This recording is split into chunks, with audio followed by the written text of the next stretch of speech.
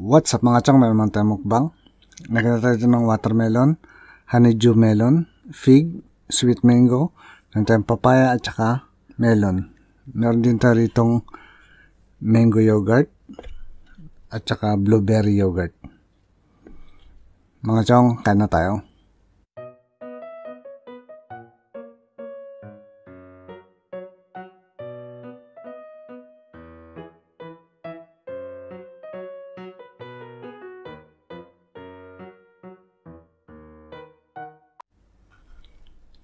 Tabi ko muna to. Yan. Lagyan natin dito itong blueberry.